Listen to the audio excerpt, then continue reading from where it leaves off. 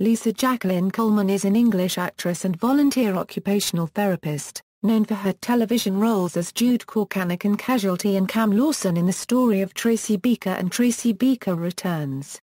Career Coleman was born in Hammersmith, London and attended Anna Scher Theatre School at age 6, going on to complete secondary education and A-levels. Having worked in television at various times since the early 1980s, in the mid-1990s she began a bachelor's degree in psychology with the UK Open University, leaving Casualty in 1997 in part to concentrate on her studies. Her radio work includes a six-part series for the BBC in 1999, Old Dog and Partridge.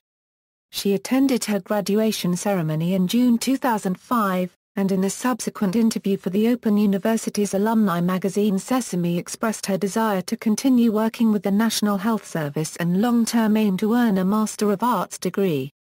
Lisa Coleman is the sister of television and movie actress Charlotte Coleman and the younger daughter of Anne Beach and Frances Coleman. Television, radio and filmography Radio, Emily in No Commitments, Nicola in Old Dog and Partridge. References External links, Lisa Coleman at the Internet Movie Database